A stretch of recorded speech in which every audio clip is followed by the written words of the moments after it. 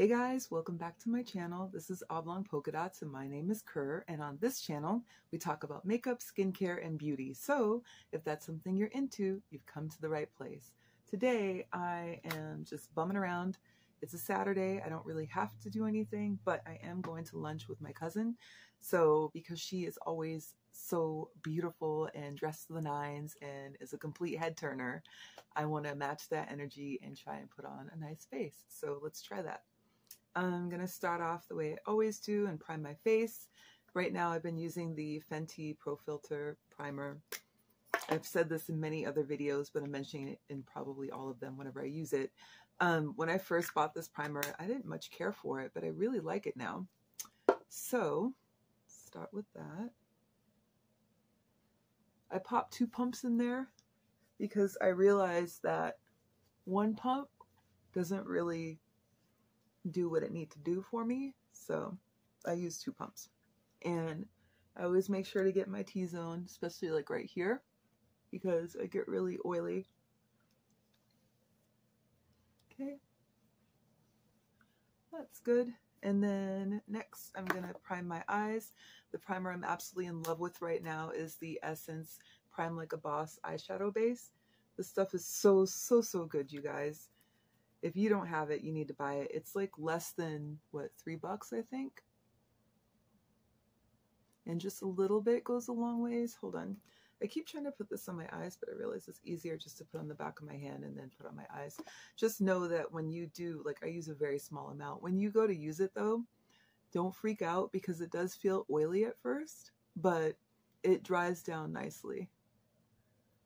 There we go. And then same thing for the other eye. All right, that's better. And then let me grab my mirror. I don't know why I've made my setup look like this. It looks weird. Like I normally have my stuff laid out on my table a different way, but it's fine. Also, does it look crooked to you? Does it look, does this look crooked? Are we good? Is it balanced? Do I look like I'm straight up and down? I hope so. I apologize if the first part of the video was crooked. Um, okay. We're going to scoot the mirror over I'm going to scoot this over.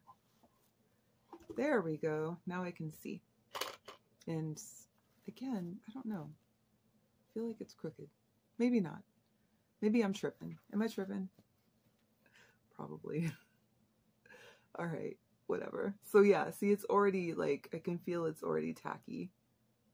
That's good. All right, quit fiddling around. So the palette that I want to use today is the, I'm actually going to use two palettes today. One is the Ace Beauté Classical Paradise palette. This is an oldie. And then the Jungle Lights palette from, what is this brand again? Oh, uh, I think it's Flower Beauty, right? Yeah, Flower Beauty. Um, but yeah, it's going to be a green look. And I don't know why I'm so awkward, you guys. I'm sorry. Let me grab a brush. All my stuff is leaning like this way, so if you see it moving, that's what's going on. This is just a regular wide flat brush. And I'm going to go ahead and open this palette. It does come with a mirror. It's got a little piece of plastic on top. I don't think I've used this palette but like once. And if you do decide to buy this palette, you guys, it is so, so, so pigmented. So you've been warned. But this is what it looks like. It's really beautiful. And then even though on camera it's not picking up very well, I'm going to use these two colors and they're both green. And then I'll follow up with the other sparkly green and we'll see how it works out.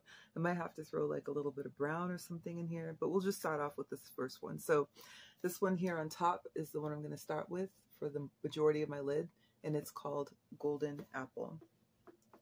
So let's see. This is what it looks like on the brush.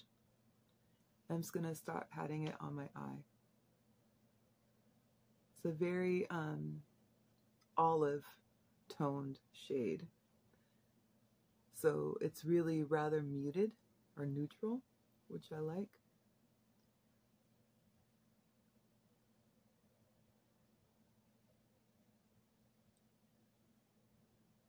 There we go. See that? Very neutral not a super heavy, mega bombastic color. It's just hanging out, doing its thing, minding its business, drinking water, all that fun stuff. And I'm not doing anything but patting it in because I'm just packing the color on. I do that often with my shadows, more often than not, because I really want to have a lot of color payoff. Do a little bit more on this side. Sometimes the best looks are simple looks, and I'm not going all the way to the outside of my eye either, in case you guys are wondering. I'm stopping just short, if you can see that. And I learned that from Wayne Goss.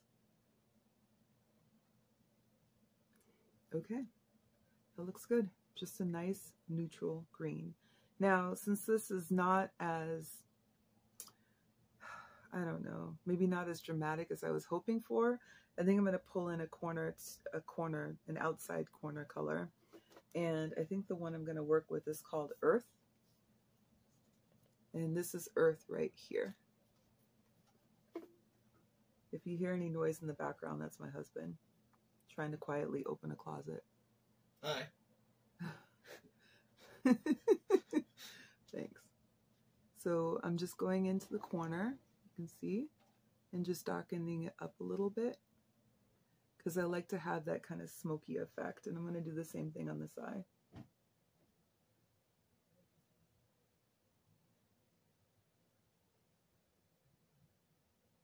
There we go.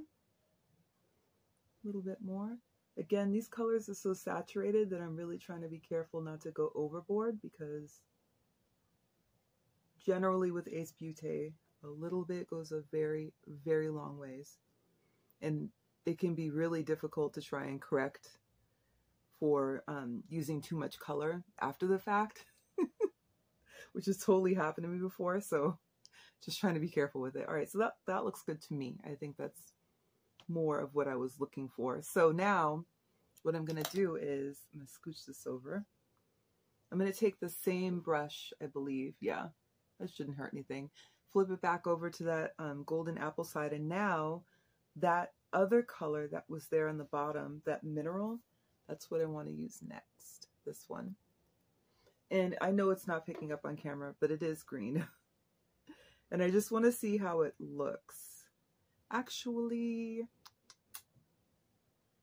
yeah, let's just see how it looks. I was going to add some glitter glue to really make it pop, but I think that's what I'm going to use the jungle lights for. So let's just see what it looks like. Here it is. I picked it up on the brush. It is so, so sparkly. It's really pretty. I'm going to put that on my lid.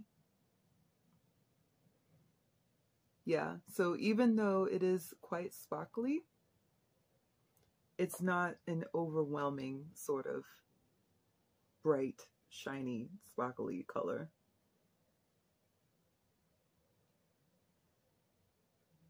Can you see that? All right. And really, it's looking more pewter than green, which is fine. I'm not mad at that. We'll work with it. And I'm just blending out those lines between the two shades because I don't want to have like a, a harsh line in between. Okay. What do you think so far? Yes? No? Let me know in the comments. Um, I love this palette. I think it is absolutely beautiful. I think the reason I don't reach for it maybe as frequently as I would is because it's just so incredibly pigmented. It's almost like you can't really, you have to just pick like one shade in the palette and then go with it because they're, they're just really, it's beautiful. It's very, very dominating though. All right, so let's grab this Jungle Lights palette. I think this is where my glitter glue is going to come in. I haven't used this yet, um, but I, quite frankly, I got sick of hearing about it because everybody rants and raves about this thing. And I'm not really one to buy a palette that has like all shimmers in it. I just don't think that I would get much use out of it. But because it was on sale and because I felt like I would probably use it, you know, a couple few times, that it would be worth it. So that's why I grabbed it. I'm going to use the NYX Glitter Primer. I love this stuff. I think it works really, really well. And again, just like with the other primer, a little bit goes a long ways. I'm just going to put some on the back of my hand because lately I've been going like a bit overboard with it. I'm going to grab a totally different brush now, just one of my synthetic brushes from Wet n Wild. I'm going to use that to dab this on my lid. And again, I only put a little tiny bit on there, and you can see there's some on my brush, but you'll see what I mean in a second. It can just be a bit much. I do see some fallout on my face from the Ace Beauté.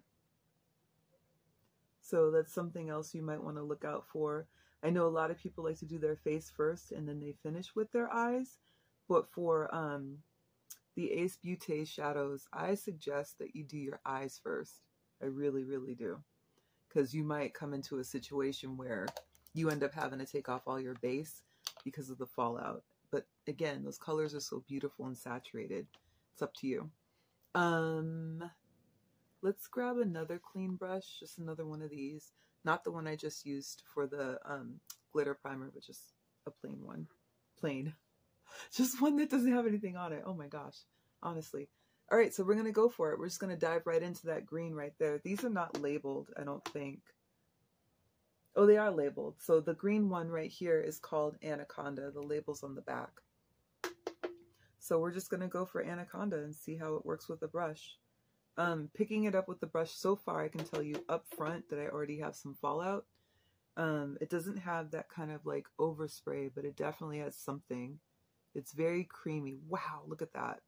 Holy moly. Oh my gosh, you guys. This is beautiful. Okay, I get it. I get the hype. I get it. I'm a believer. Wow. Are you seeing this? Is this picking up on camera? I sure hope so.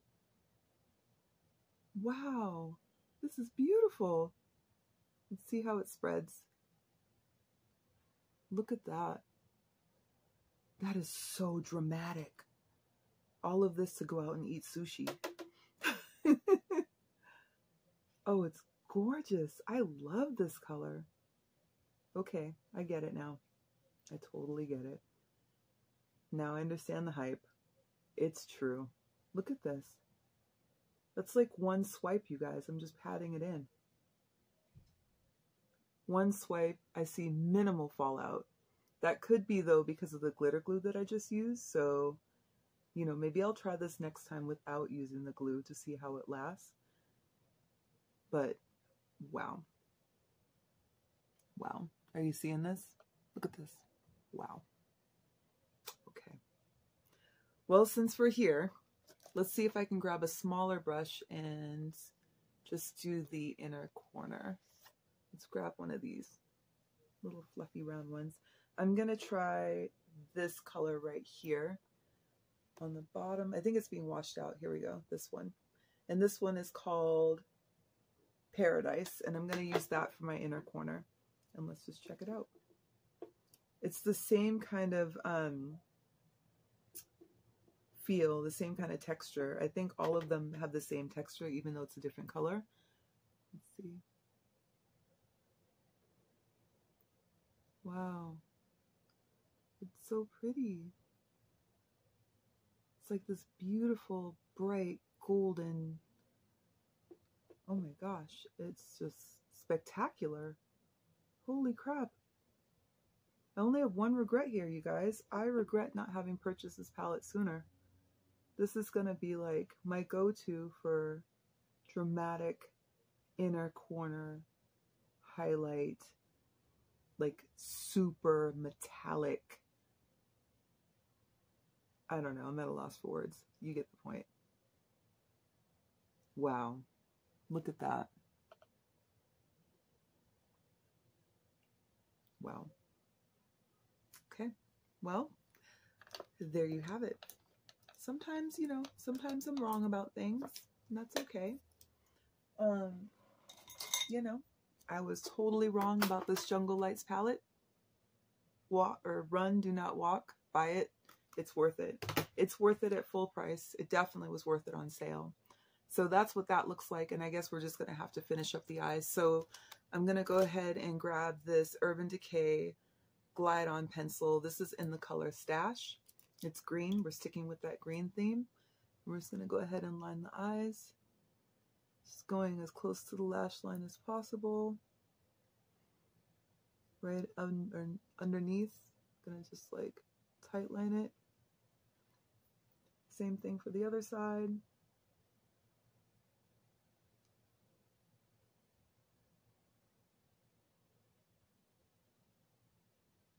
rolling my eyes in the back of my head so don't poke my eye out. Here we go. I don't typically line my bottom lash line, so we're going to leave that alone. But I do have this khaki color from CoverGirl, and it's the True Naked Queenship. Let me see what this looks like. I don't know if I want to add this or if I'm just doing too much. I might be doing the most here, you guys. Maybe that's too much. Is there another one in here? What's this one? That wasn't the khaki. This is the khaki. This is from um, Laura Mercier. It's one of the, I think they're called caviar sticks. Why not? Let's just do it. Let's just do it. Like I said, I don't normally line my bottom line, but if we're going to be dramatic, might as well be dramatic.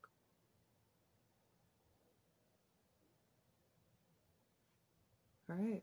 What do you think? Too much? Not enough? just right? Let me know in the comments. Let me know if I went overboard. we'll fix it here in a minute with some mascara either way. Um, okay, let's leave that for now. And then I do, like I had mentioned, I have some fallout underneath my eyes. So we're going to go ahead and just try and wipe that away a little bit.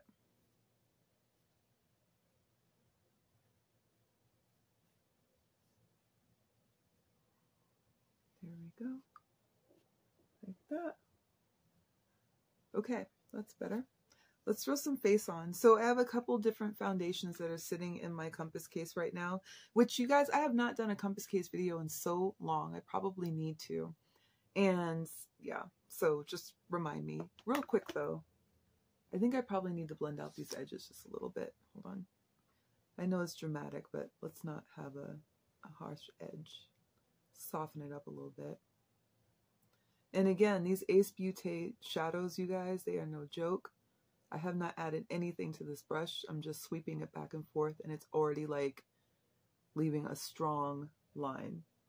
So they are just some of the most highly pigmented shadows I've ever used.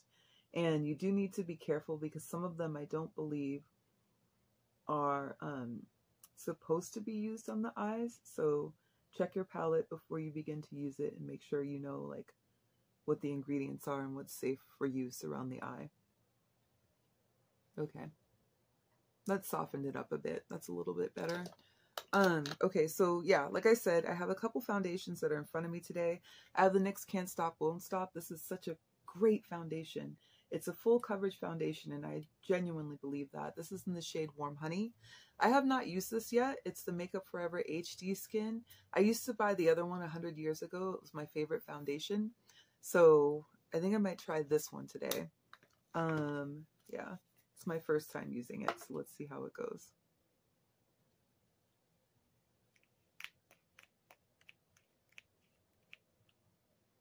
Maybe start with one pump. Ooh, this looks a little bit light. Maybe two pumps. We'll see. That's two pumps, but I don't know if I'm going to use both. This looks a little bit light for me, so I'm hoping that it oxidizes, kind of like the CoverGirl True Naked Foundation, but let's just try it out.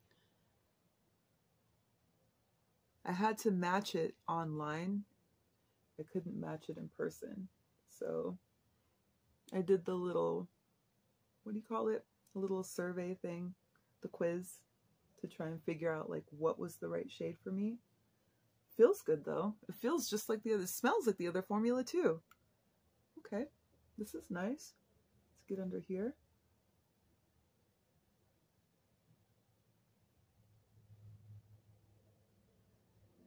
What do you think? Is that a good match? I'm sitting in front of a window and from here it does look like a good match.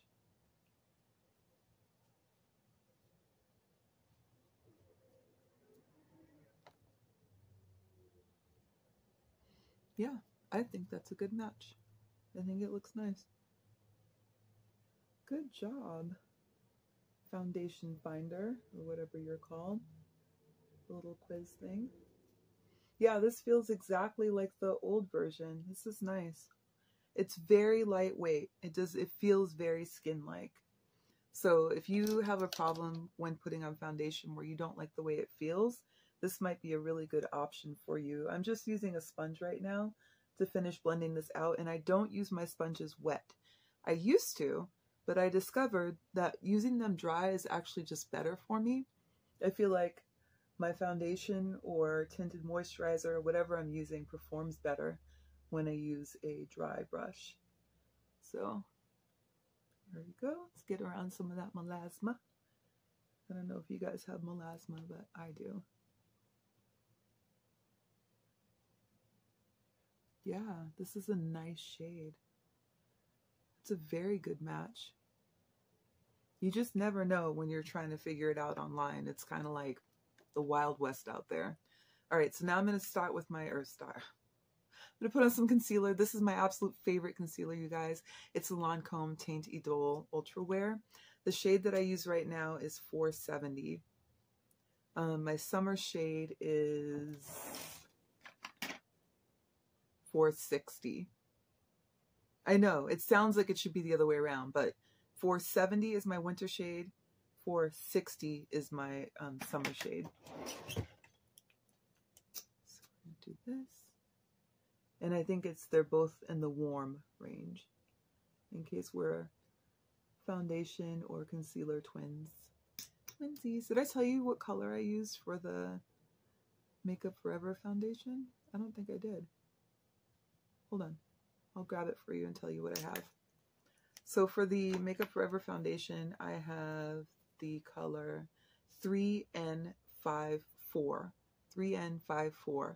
So if we are um, twins in terms of, uh, I can't speak. In terms of foundation, if we're twins, that's what that is. Okay. And then we're just going to pat this in. Hopefully this plays well together. So far, the Lancome concealer has played well with most of my foundations, but you just never know. Same thing, it plays well with my tinted moisturizer, which is great because I'm going to need it too. If I'm going to get through all these foundations, because I really don't want to change or have to look for another concealer that is a go-to.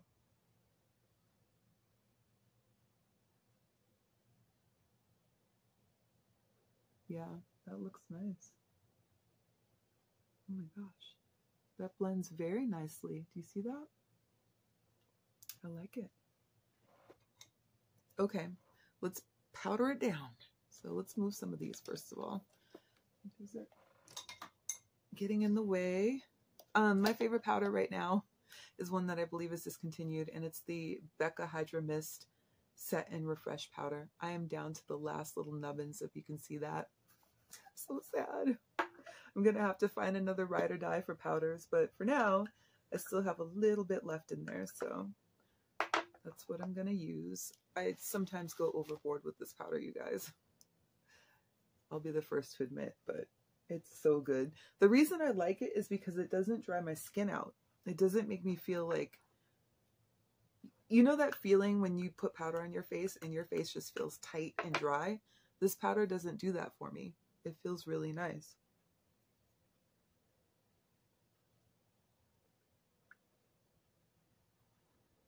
There we go. That should hold me for the afternoon.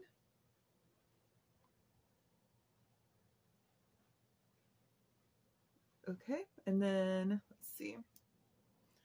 We're going to let's put this away. Let me grab a blush. I've been using the same blushes, and well, specifically the same blush. Oh my gosh. I just got powder everywhere. it's fine. Um, I've been using the same blush, like I was going to say, probably every day for the past couple of weeks. So I finally switched it out of my compass case. I was like, this is ridiculous. I got to start using some of my other blushes. But that blush had me in a chokehold, and it's by NARS, and it's called Savage. So I do still have another NARS blush in here, but I'm not using this today. Instead, I'm going to go with this uh, Morena Beauté. And the shade that I have here is called Sweet Brown. And it's number two. And I have not used this blush yet. Um, it comes in a really nice container. It's got the little piece of plastic. It's got a mirror. Look at that. Isn't that pretty? It's a nice, pretty, peachy, sort of brown neutral blush, which is perfect for the brown girl. You know we love it. So let's give it a try. I have no idea how pigmented this is, but I can tell you that I only dipped my brush in and that's how much just got on there. So this is either going to be a disaster or it's going to turn out well. What do you think? Ooh, this is beautiful. It's buildable. So even though there was a lot of pigment on the brush, it's not saturated. It's not like highly pigmented. I think that one dip is actually perfect. Although you know me, I'll go overboard with some blush in a heartbeat. I love blush. I think it's so fun. It just adds a whole nother dimension to your look. Maybe one more dip. Yeah, let's get in there. Look at that. It's like a nice, warm, peachy. This is gorgeous. I like this color. This is very, very nice. If you are my complexion, yeah, you might want to give this a try. This is beautiful. Look at that. You like it? I feel like it has a very ethereal glow. I feel like a princess. Like a princess. Okay, I'm putting this back. You guys, if you've been on my channel for a long time, you know I have a problem where I just keep putting everything back in the box. And I have to make a concerted effort not to do it. It's like it doesn't need to go back in the box anymore. I'm going to use it. So please be proud of me. I took it out of the box. I'll put the box in the recycling. All right, so for my brows, I'm just going to tidy up a little bit. My brows are tattooed, but every once in a while I do like to fill them in. So today is one of those every once in a while kind of days. This is the um, brow pencil from MAC. I always buy this shade um, Spiked or Spike. What is this? Spike or Spiked? Spiked, like past tense. Okay. Let's put that there. Y'all, I was slipping the other day. I made a video and I was looking at my brows and I was like, what? I needed to pluck them and I can see that I probably need to do it again. But yeah, we even talked about it in the video. I was like, y'all can't have me out here in these streets looking like that. ah, looking like nobody cares about me. Okay, that looks good. I think I probably put too much powder under my eyes because I have some creasing going on, but it's fine. Not the end of the world. I don't think anybody's going to walk up to me in public and say, you know, excuse me, I think you put too much powder under your eyes. Have some creasing. Can you imagine the gall? All right, so let's set all of this, shall we? I'm going to use the Kryolan Ultra Setting Spray. Love this stuff. It is highly, highly, like it's got a ton of alcohol. So if you're sensitive to that, this may not be for you. Hmm. But because it has so much alcohol, it has a very low surface density, so it does dry quickly. I do recommend though, every once in a while when you're using this, to go ahead and remove the sprayer and just soak it in water because it will get clogged over time. Just letting you know. I think I say that probably in every video, but I'm sure some people have used it and thought it stopped working and it's really just a sprayer that needed to be just soaked so it could clear up a little bit. I'm doing a lot of talking. so let's keep going. Here is the Essence False Lashes Mascara. It's the Extra Volume and Curl. Throw this on. Let's tilt my mirror. I'm sure you guys know this, but there might be a few that don't. If you have longer lashes and you don't want to get the mascara on your lid, all you need to do is look down when you're doing your mascara. And that will pull your lashes away from your lid. and keep you from getting mascara on your lid.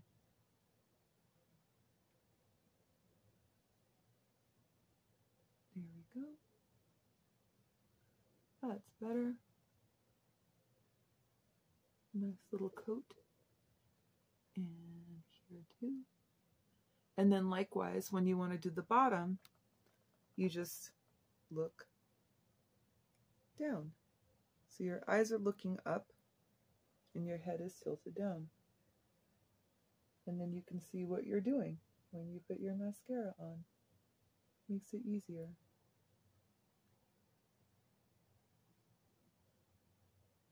There we go. A little bit more. And I don't know if you guys noticed, but most of the time when I'm putting on mascara, I only pull it from the wand. I don't dip it in there two, three, four times. I just pull it and start using it because I feel like if I do that, I'm using, um, it's like too much product. You know what I'm saying? It's like it bunches up or collects underneath my eyes or something along those lines. So let's see. I think I'm going to put just a little bit of powder from that Ace Beauté palette underneath where I just put that mascara on. So I'm going to go back into that golden apple color with a flat brush, one of these boys. See that? It's flat.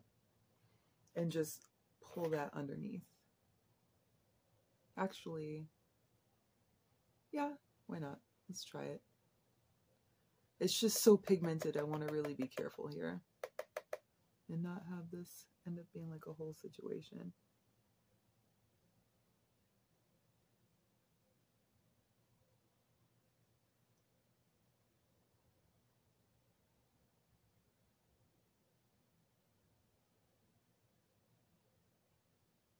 And then using the same brush, I'm going to go back into, whoa, making a mess. I'm going to go back into Earth, this one right here. And just put that underneath as well. Pull this up a little bit.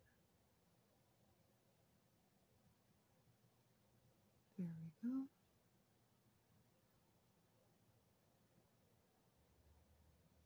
And like that.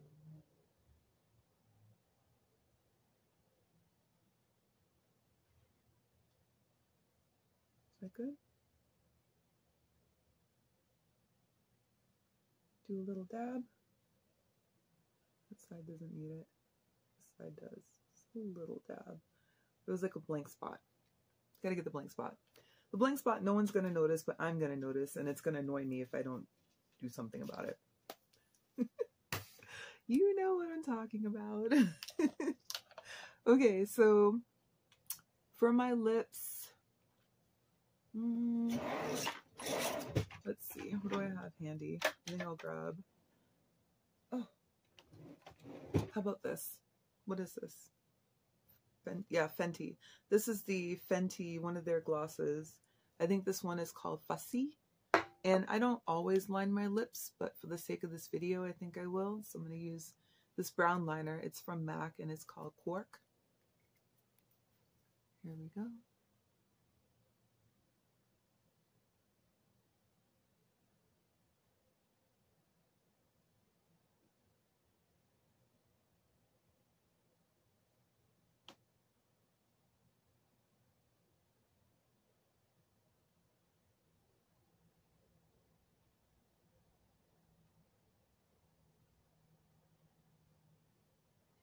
Mm. Yeah, I think that's good. I really didn't want anything like too dark or really dramatic because typically if I do like a really dramatic eye, I um what is that? I don't want my lip to clash with it. I would rather it just be neutral. So let's throw a little bit of fussy on there.